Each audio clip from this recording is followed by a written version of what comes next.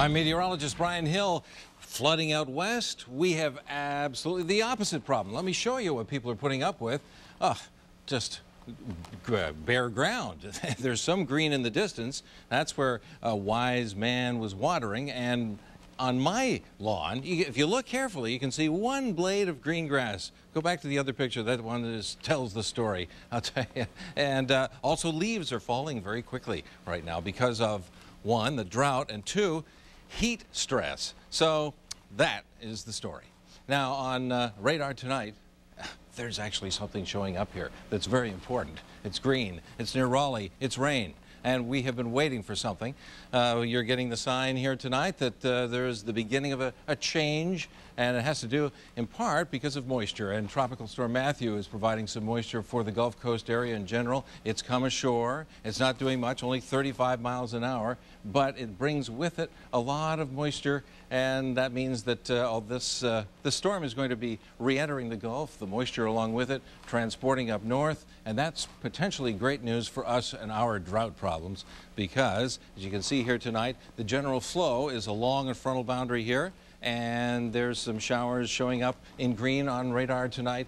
So we can expect a cool down because of the cold front that is here. It has put an end to these sunny conditions that we were experiencing today. And here's a look at future track on Sunday. By 7 o'clock at night, we'll have some plumes of moisture coming into the area. Uh, they'll be widely scattered, though, a little bit around the Outer Banks of North Carolina. We can expect a shower at times tomorrow. That's the bottom line. And it's going to be a pretty good day, all in all. These thickening clouds will be over top of us. Cooler temperatures, you can handle that, can't you? And here's the precip forecast for our area very specifically. Most of the action around our area, and not very much, down in northeastern North Carolina. About five inches near Charlotte and most of the uh, areas to the west of us are where the really severe drought has been, and that's where they're going to get most of the rain tomorrow. Monday, our best shot at some shower activity. Beautiful night tonight. Uh, cloudy skies, but uh, you can see lots of visibility around, and some people might want to head out in the water. Tomorrow, there is uh, a problem with the wind speed, so the flags are up. 15 to 20 knot winds from the north tomorrow, and we'll have around three to four foot seas uh, uh, in the ocean and the bay, two to four, 76 degree water temperature, high at 443 in the afternoon, the low around 10, 16 in the morning. And the uh, express forecast looks like this. Going to be a nice quiet night. Could see a passing shower. Temperatures falling to about 69 by the time you get to 6 o'clock in the morning. And your seven-day forecast looks like this. 78 tomorrow with some passing showers at times. Monday, best chance of some shower activity for us, but only about oh, a tenth of an inch or so and 80 degrees. And by the time we go all the way to Friday and Saturday, we're back to sunshine, but we could see some showers this week, Lori. The Hokies travel north to begin ACC. South Carolina State. So a lot of great college football today. Everybody getting into the thick of things. Thick of things. How Speaking thick? of thick, How oh, thick thick, is this? this? is huge thick. What, what, what? Kansas Jayhawks creamed New Mexico State 42 to 16. Thank you very much. They have football in New Mexico? well, yeah. Oh, they I do, didn't know that. and we beat them. There you go. That's pretty thick. All right, not bad, huh? Mhm, not okay. bad. N- For the tomorrow five people out there that care, tomorrow will not be bad. Stay in and do your laundry. That wraps up the Wavy News 10 and 11. We're signing off on air. Check us out online at wavy.com. Saturday Night Live is next. Hey Parker, wanna race home? Bet I can. He's making his debut on Saturday Night Live, and we've got a peek. I'm meteorologist Brian Hill. We've actually got some showers showing up on Super Doppler 10, and I'll have all the details on what lies ahead for tomorrow coming up. And let the fish stories begin. A special group of angry.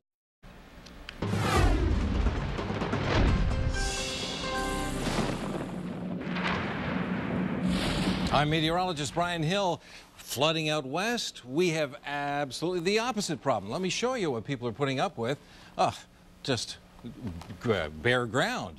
There's some green in the distance. That's where a wise man was watering. And on my lawn, if you look carefully, you can see one blade of green grass. Go back to the other picture. That one is, tells the story, I'll tell you. And uh, also leaves are falling very quickly right now because of, one, the drought, and two, heat stress. So that is the story. Now, on uh, radar tonight, there's actually something showing up here that's very important. It's green, it's near Raleigh, it's rain. And we have been waiting for something. Uh, you're getting the sign here tonight that uh, there is the beginning of a, a change, and it has to do in part because of moisture. And Tropical Storm Matthew is providing some moisture for the Gulf Coast area in general. It's come ashore. It's not doing much, only 35 miles an hour, but it brings with it a lot of moisture, and that means that uh, all this uh, the storm is going to be re-entering the Gulf, the moisture along with it, transporting up north, and that's potentially great news for us and our drought problems because, as you can see here tonight, the general flow is along a frontal boundary here, and there's some showers showing up in green on radar tonight. So we can expect a cool down because of the cold front that is here. It has put an end to these sunny conditions that we were experiencing today. And here's a look at future track on Sunday. By 7 o'clock at night, we'll have some plumes of moisture coming into the area. Uh, they'll be widely scattered, though, a little bit around the Outer Banks of North Carolina. We can expect a shower at times tomorrow. That's the bottom line. And it's going to be a pretty good day, all in all. These thickening clouds will be over top of us. Cooler temperatures, you can handle that, can't you? And here's the precip forecast for our area very specifically. Most of the action around our area, and not very much, down in northeastern North Carolina. About five inches near Charlotte and most of the uh, areas to the west of us are where the really severe drought has been, and that's where they're going to get most of the rain tomorrow. Monday, our best shot at some shower activity. Beautiful night tonight. Uh, cloudy skies, but uh, you can see lots of visibility around, and some people might want to head out in the water. Tomorrow, there is uh, a problem with the wind speed, so the flags are up. 15 to 20 knot winds from the north tomorrow, and we'll have around three to four foot seas uh, uh, in the ocean and the bay, two to four, 76 degree water temperature, high at 443 in the afternoon, the low around 10 16 in the morning. And the uh, express forecast looks like this. Going to be a nice quiet night. Could see a passing shower. Temperatures falling to about 69 by the time you get to 6 o'clock in the morning. And your seven day forecast looks like this 78 tomorrow with some passing showers at times. Monday, best chance of some shower activity for us, but only about oh, a tenth of an inch or so and 80 degrees. And by the time we go all the way to Friday and Saturday, we're back to sunshine, but we could see some showers this week, Lori and one in the MEAC. They will be off next weekend and then play at South Carolina State. So a lot of great college football today. Everybody getting into the thick of things. Thick of things. How Speaking thick? of thick, How oh, thick thick. is this? this? is huge thick. What, what, what? Kansas Jayhawks creamed New Mexico State 42 to 16. Thank you very much. They have football in New Mexico? well, yeah, Oh, they do, didn't know that. and we beat them. There you go. That's pretty thick. All right, not bad, huh? Mhm, not okay. bad. For the tomorrow five people out there that care, tomorrow will not be bad. Stay in and do your laundry. That wraps up the Wavy News 10 and 11. We're signing off on air. Check us out online at wavy.com. Saturday Live is next. Hey, Parker, want to race home? Bet I can beat you there. With its It's coming up Saturday morning at 10:30 right here on Wavy TV 10. Call A Active because you're going to get somebody who's passionate about doing a good job and wants to make sure you're happy and that you feel safe and protected in your home. It's as easy as 123 for you to live bug free. Go to 123bugfree.com. Trick or treat. Post pictures of your little ghosts and ghouls. And check out the Halloween guide for safety tips and fun events. All on wavy.com. Raise your glasses for the Chesapeake, Virginia Wine Festival, October 30th. First in high definition from the station on your side, this is Wavy News 10. City Hall shakeup. Norfolk's mayor speaks only to 10 on your side after city manager Regina Williams announced she's stepping down. Then a brazen robber. Police need your help nabbing the man they say robbed a local fast food restaurant with a shotgun. Plus, zombies hit the streets. We'll show you what it took to organize this spirited game of tag in the Mermaid City. Wavy News 10 Saturday morning starts right now. And good Saturday morning. Thanks for joining us. I'm Kay Young. I'm meteorologist Brian Hill. You know, we got frost on top of some of the cars this morning. I knew it was cold. I knew it. Get But you- it's, it's not going to stay that way, though, You know, fortunately, nice and bright. We're going to warm up some. I'll tell you how much coming up. Okay, uh, and we're going to start out with uh, some nice temperatures today, too, right? Yes, yes, yes. right, Thanks, Brian. Well, now to our top story this morning a shakeup at Norfolk City Hall. City manager. Police were hired, and we do not have any reports of complaints or crimes. Now, the event lasted until 11:30 last night. Now, it was a chilly night, but what about the rest of our weekend? We're going to check in with meteorologist Brian Hill for Mhm. an update. Morning, Brian. Oh, gee, it was cold uh, yesterday, but uh, you know it's even as cold this morning, and we've got some frost on top of some of the cars, as I was just mentioning, down in North Carolina. Uh, Currituck County is reporting 40 degrees right now. Gosh, 45 in Norfolk. It is, uh, you see the blue inland there? Those are the areas where we have a, a frost advisory this morning. It's just going to be a really cold start. Uh, 42 in Elizabeth City, as you can see. We see 39 in Danville. Yep. We're talking close to freezing or at freezing or below freezing for especially the inland areas. So, gosh, it's going to be a, a cold start. But you know, if you have a little bit of uh, uh, warming in terms of a sweater or maybe a nice warm cup of coffee this morning, that would be good, right? You're going to need it.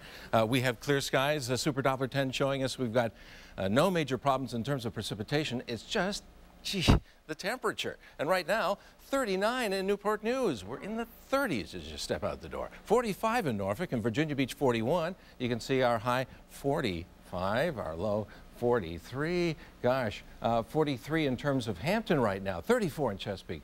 37 in Suffolk. My goodness. And we do have these frost advisories till 8 a.m., especially for the areas inland here, but that's expected to be lifted. However, probably it's going to be uh, in, uh, stated again for tonight, so watch out for that. Hey, we got a lot going on. The uh, SPCA walk from 10 to 2 today should be about 60 degrees. Uh, junior diabetes going on at 10 o'clock, about 60 degrees for that. And tonight at the Living Museum between 8 and 9 o'clock, they're spooktacular, about 59 degrees. So I hope you're ready for uh, chillier temps, let's put it that way. And the long range outlook, the, the uh, seven day forecast has got uh, the story for you. Uh, we are going to start to warm up. Won't that be nice? 69 today. Some places inland could squeak up to 70. 75 for our Sunday. A terrific weekend before the showers come along on Monday. And then Tuesday, 81, 82 Wednesday. a little sprinkle on Thursday is possible at 80 and 70 degrees on Friday, and that's certainly going to be warmer. Well, thanks, Brian. Information to make a disaster kit and an evacuation plan.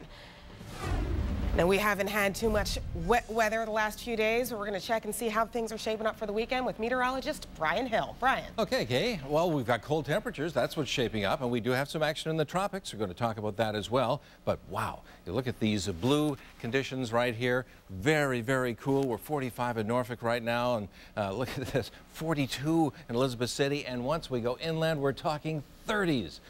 39 in Danville. It's a very chilly morning.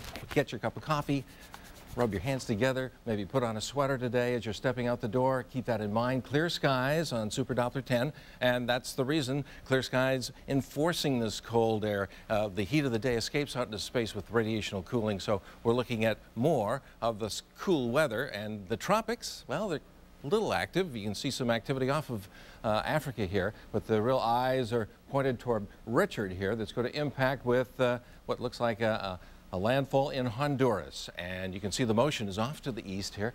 Uh, we can expect it to actually come to hurricane force by uh, 2 o'clock on our Sunday and then it's just going to keep its motion off to the north and to the east. The models are not in terribly good agreement about this, but it's looking like it's going to recurve and go back into the Gulf. So we'll have to watch this very carefully, see what happens.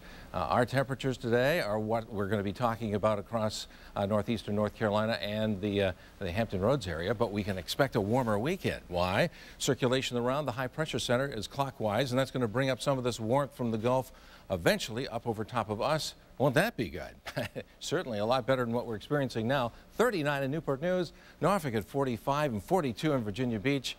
My goodness, clear skies for us. Hampton, 34 and 34 in Chesapeake, 37 in Suffolk right now. It's very cold. We've got a frost advisory until 8 o'clock this morning. Uh, that's probably going to be reinstated for tonight as well. And our weather headlines, the SPCA walk today, about 60 degrees as it goes on from around uh, 10 to 2. And uh, Junior Diabetes Walk has uh, going to be active today. There will be in the 60s as well.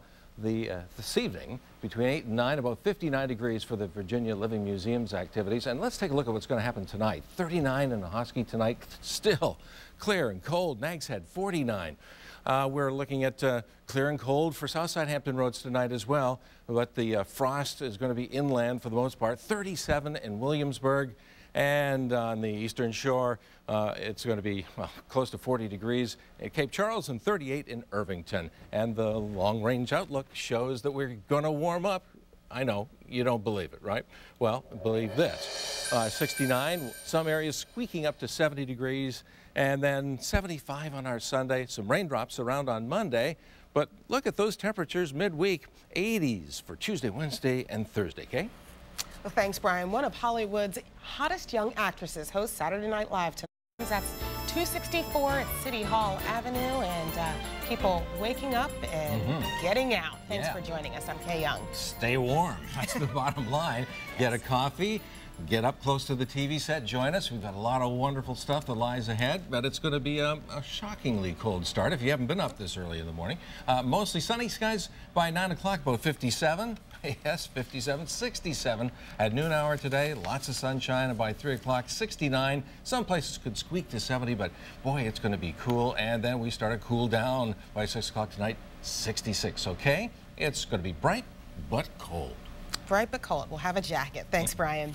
Well, now to our top story this morning. The purpose does that. A faith-based organization that uses kids' own words to uh, inspire and to empower other kids. And now, the event continues, so today you can look for our Don Roberts at the Teen Forum. It starts at 11 a.m. at Lamberts Point Community Center.